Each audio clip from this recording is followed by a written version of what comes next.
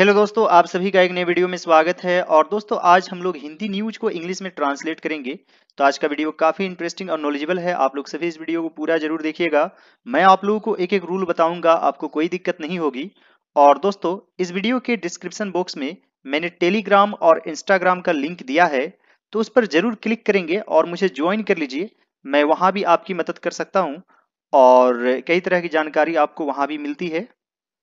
आज हम लोग जमशेदपुर, झारखंड की रहने वाली एक 11 साल की लड़की की चर्चा करेंगे, जिसका नाम तुलसी कुमारी है। तो दोस्तों, यहाँ पर है चर्चा करेंगे। तो यह किस टेंस में है?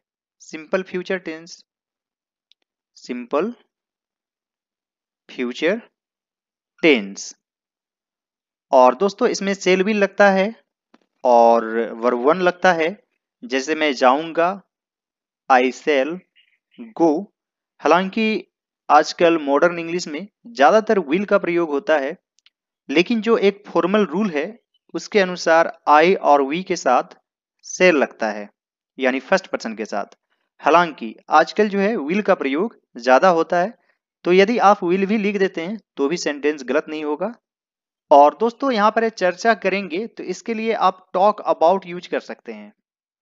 टॉक अबाउट वैसे डिस्कस मीन्स भी होता है चर्चा करना यानी डिस्कस लेकिन इसके साथ कोई भी प्रेपोजिशन यूज़ नहीं होता है। जैसे discuss the matter discuss about the matter नहीं होगा। लेकिन टॉक के साथ आप अबाउट यूज़ कर सकते हैं। तो आज हम लोग जमशेदपुर झारखंड की रहने वाली एक 11 साल की लड़की की चर्चा करेंगे। तो सबसे पहले लिखेंगे, आज हम लोग चर्चा करेंगे। टुडे वी सेल डिस्कस या फिर talk about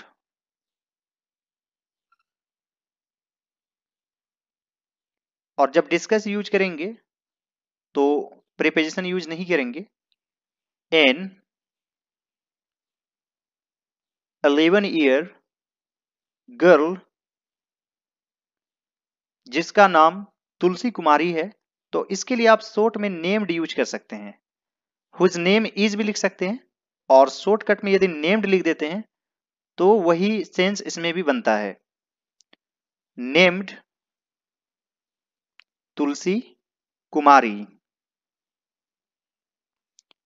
Today we shall talk about an 11 year girl named Tulsi Kumari, Jamshedpur, Jharkhand की रहने वाली।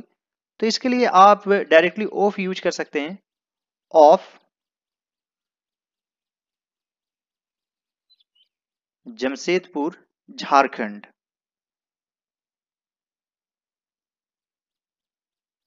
Today we shall talk about an 11 year girl named Tulsi Kumari of Jamshedpur, Jharkhand. वह अपने परिवार की मदद करने के लिए सड़क किनारे आम बेच रही थी तो यहाँ पर है बेच रही थी यानी कि पास्ट कंटिन्यूअस टेंस किस टेंस में है? पास्ट कंटिन्यूअस टेंस और इसमें क्या होता है? Subject plus was were plus verb में आई एन जी और प्लस ऑब्जेक्ट ये फॉर्मेट होता है।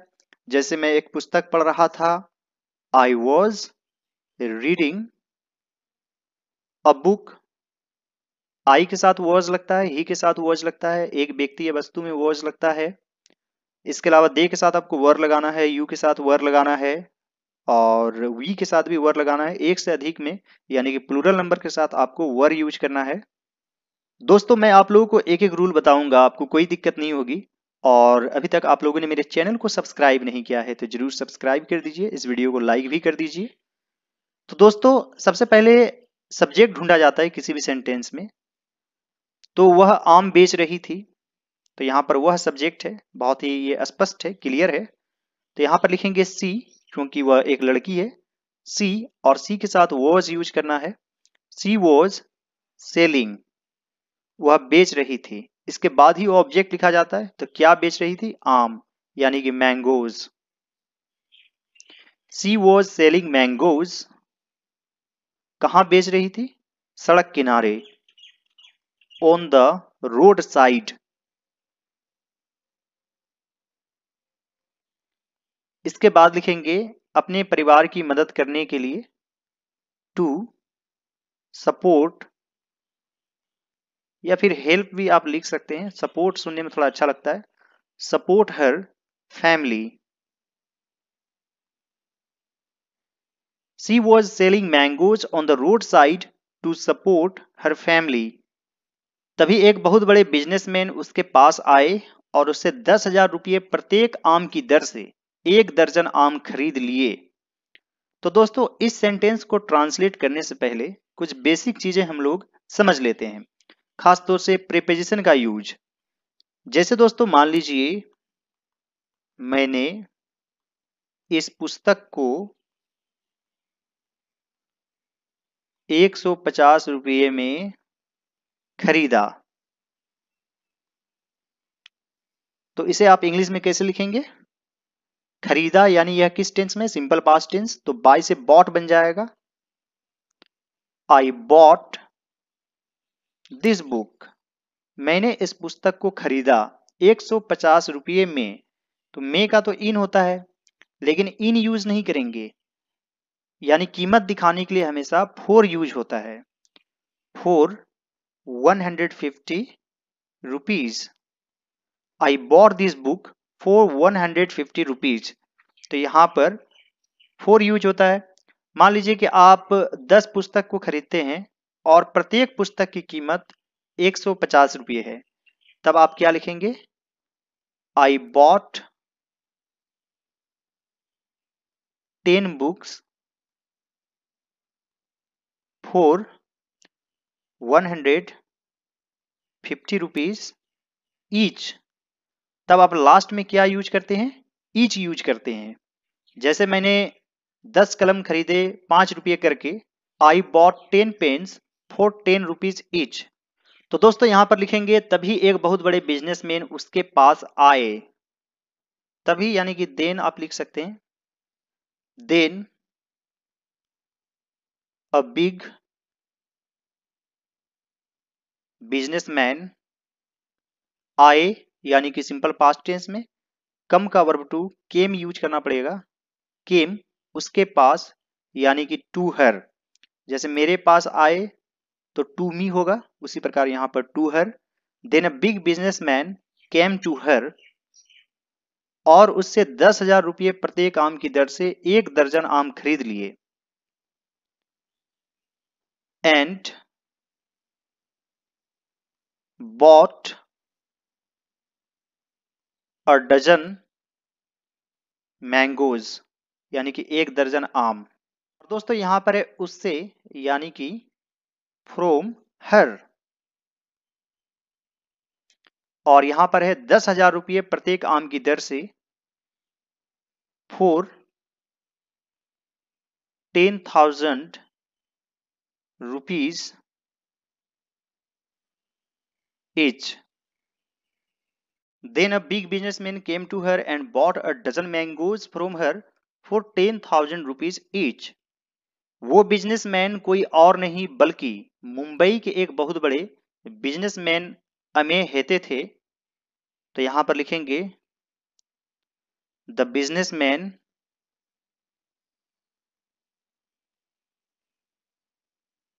was none other than none other than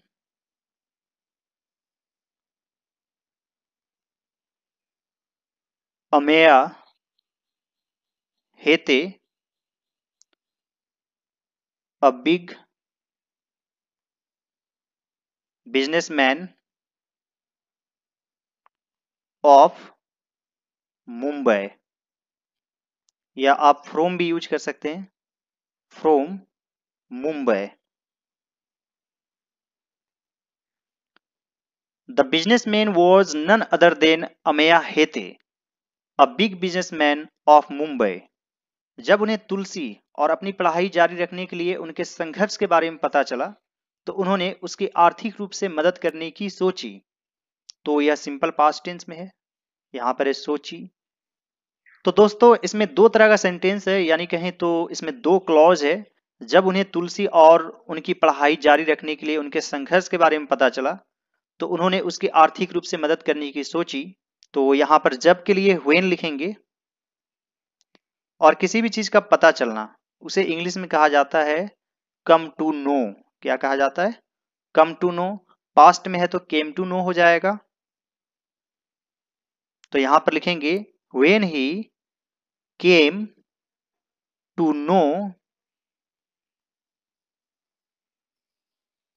किसके बारे में पता चला? तुलसी के बारे में और उनके संघर्ष के बारे में when he came to know about Tulsi and her struggle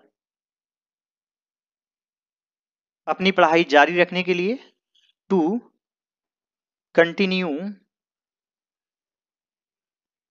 her studies. When he came to know about Tulsi and her struggle to continue her studies, तो उन्होंने उसकी आर्थिक रूप से मदद करने की सोची। ही डिसाइडेड आप लिख सकते हैं यानी निर्णय लिया। ही थॉट भी लिख सकते हैं। He decided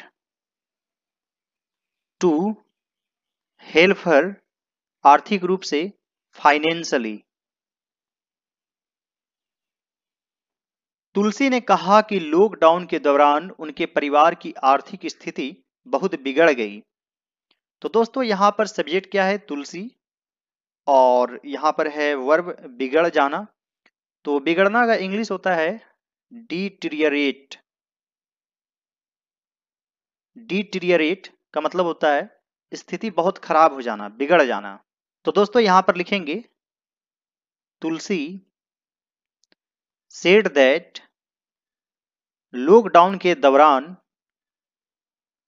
during the lockdown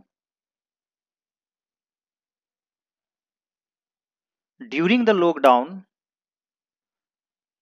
उनके परिवार की आर्थिक स्थिति बहुत बिगड़ गई थी। The financial situation of her family. और दोस्तों, यहाँ बिगड़ गई थी है। हालाँकि यह सिंपल पास्ट टेंस में है, लेकिन नरेशन में भी एक रूल है कि यदि दैट से जुड़ा हुआ रहता है तो दैट के बाद जो है simple past tense past perfect में बदल जाता है। यानी कि हैड यूज़ होता है। तो यहाँ भी वही रूल फॉलो होगा और यहाँ पर हैड यूज़ करेंगे। Deteriorated Tulsi said that during the lockdown, the financial situation of her family had deteriorated. उनके माता पिता के पास उनके ऑनलाइन क्लासेस के लिए स्मार्टफ़ोन खरीदने तक के पैसे नहीं थे। तो यहाँ पर तक के लिए आप इवन यूज़ कर सकते हैं।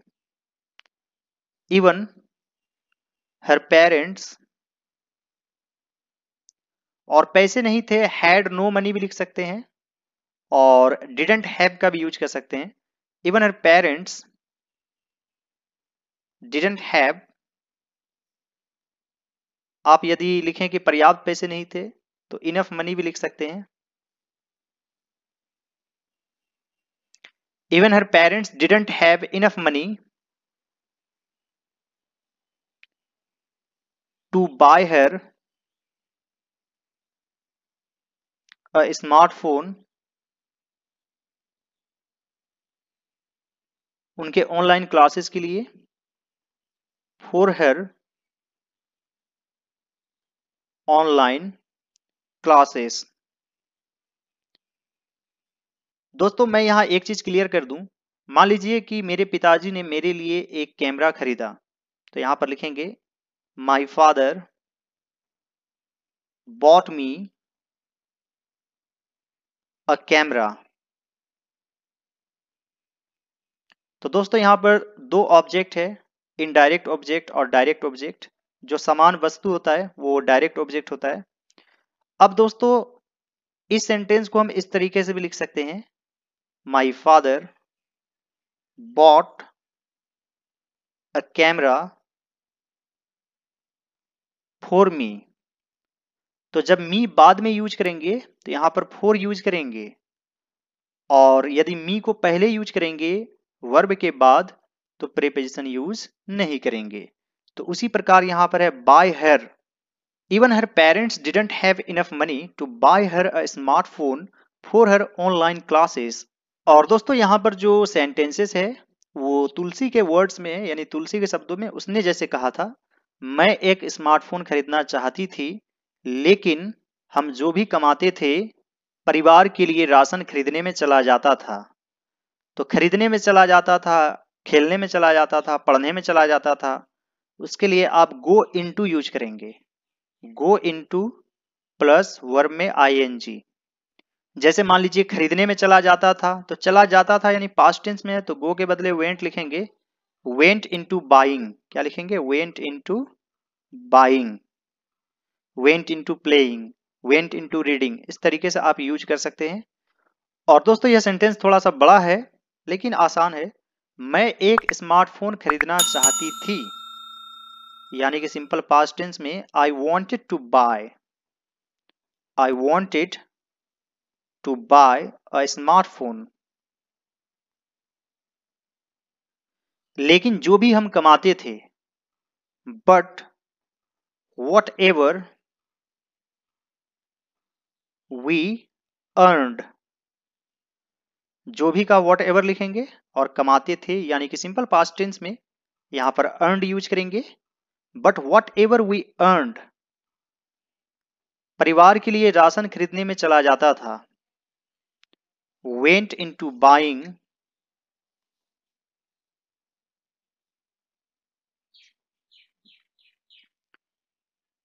ration for the family फिर एक महाशय ने मुझसे बारह आम, दस हज़ार की एक आम के दर से खरीदे। यहाँ पर लिखेंगे देन, असर, और यहाँ पर एक खरीदे बॉट क्या खरीदे? ट्वेल्व मैंगोज मुझसे फ्रॉम मी किस रेट में? For rupees ten thousand each यानी प्रत्येक आम। लास्ट में ईच यूज़ करेंगे। I wanted to buy a smartphone but whatever we earn went into buying ration for the family then a sir bought 12 mangoes from me for rupees 10,000 each.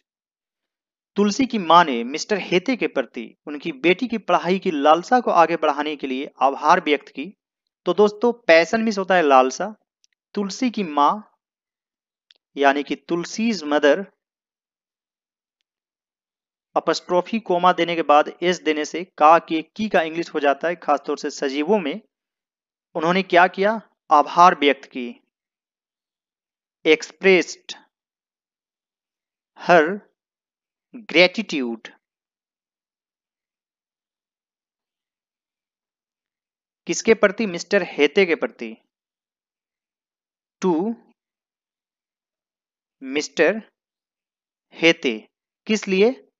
उनकी बेटी की पढ़ाई की लालसा को आगे बढ़ाने के लिए। तो दोस्तों, यहाँ पर आप फोर का भी यूज़ कर सकते हैं। फॉर फर्दरिंग फर्दर मिस होता है आगे बढ़ाना। तो जब प्रेपोजिशन यूज़ करेंगे तो हमेशा आईएनजी फॉर्म यूज़ करेंगे। और यदि प्रेपोजिशन यूज़ नहीं करेंगे तो टू फर्दर का भी आप यूज़ कर सकते हैं। Tulsi's mother expressed her gratitude to mister Hete for furthering her daughter's passion और पैसन के साथ हमेशा फोर यूज़ होता है। फोर एजुकेशन या आप स्टडीज़ भी लिख सकते हैं। Tulsi's mother expressed her gratitude to mister Hete for furthering her daughter's passion for education mister Hete के अनुसार, उन्हें तुलसी के बारे में एक पत्रकार की सोशल मीडिया पोस्ट के द्वारा पता चला और उन्होंने उनकी मदद करने की ठानी। तो यहाँ पर है के अनुसार, यानी अकॉर्डिंग टू मिस्टर Hete उन्हें तुलसी के बारे में एक पत्रकार के सोशल मीडिया पोस्ट के द्वारा पता चला। तो सबसे पहले लिखेंगे, उन्हें पता चला। He came to know he came to know about Tulsi. कैसे पता चला? एक पत्रकार के सोशल मीडिया पोस्ट के द्वारा। Through a social media post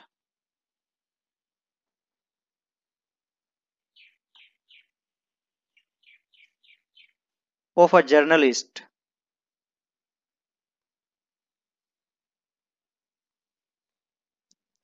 और उन्होंने उनकी मदद करने की ठानी। And he